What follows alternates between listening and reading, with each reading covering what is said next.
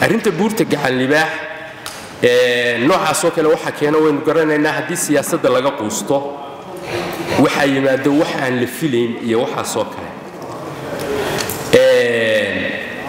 Waxaan odhan lahaa berigii waxaa la yidhi in yaroo kaftana baan idiin gudbinayaa reer somalilan kaftankay wax ku yara fahmaane berigii dowladdii maxamed siyaad baa wuxuu soo kormeeray madaxweynihii xaafad ka mida xamar oo nin reer xamarkii cadcadaayi uu ka yahay guddoomiye dabeedna wuu warbixiyey oo wuxuu yidhi nabadgelyadu waa fiican tahay madaxweyne horumar baan samaynay iskaa u qabsaan samaynay wax aad u fara badan baan samaynay waa fiican tahay.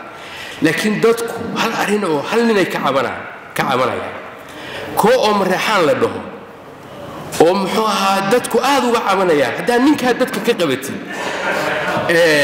waxa weeye wax waliba way hagaagayaan kaasunbaa problem jira hadda waxaan leeyahay dadku waxay aad u hadalhayaan huwan somalilan ka abuurantay u layidhaho jeegaan marka haddii taa keliya laga qabto dadka waxaan u malaynayaa inay arrimahoo dhani hagaagayaane bal dib ha loo fiirsado xildhibaanadii hadlay oo dhani inay kala cuslaatay arrinta buurta gacallibaax marka waxay u eg tahay inay arrintii xawlalmariidka timi oo markii hore malaha meel koonaabaa wax ka socdeene la baqay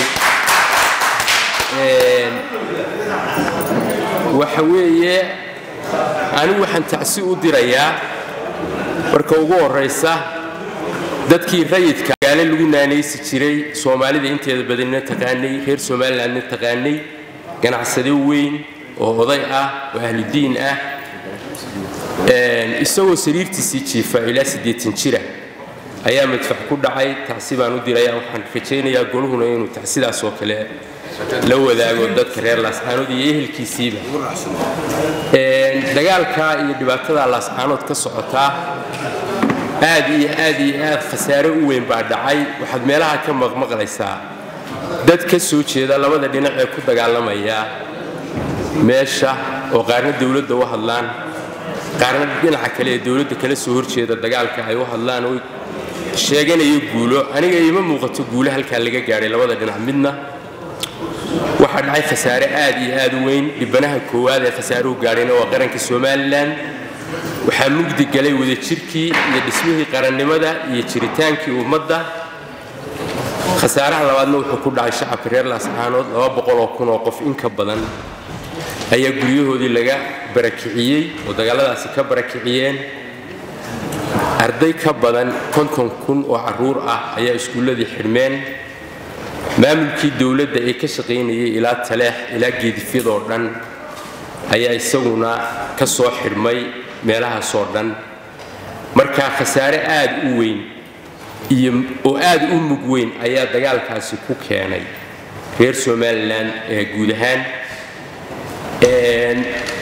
Waxaan aad iyo aad ula yaabaa rag horena way tilmaameene marka golayaasha qaranka somalilan ay ka yeedhaan hadallo aad u dhiifaysan. Maalin dhaweyd waxaan maqlayay nin xildhibaana oo golaha guurtida ka tirsan oo arrintaa gobolka sool isagoo ka hadlaya leh waa midhadh isagoo qoslayo jeesjeesaya waa midhadh oo waa la buufinaya waa buufinayna kuwa buurta gacanlibaax fadhiyaana waa inamadayadiyo waxa weeye waanu inay golo qaran oo weliba golihii guurtida ah.